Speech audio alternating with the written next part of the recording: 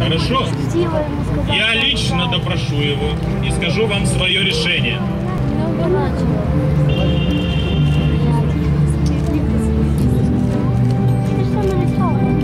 Иисус, скажи мне, ты царь? Царство мое не от этого мира.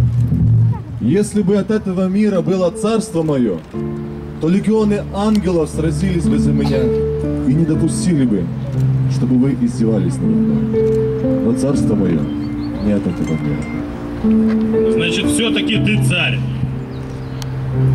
Это ты говоришь, что я царь.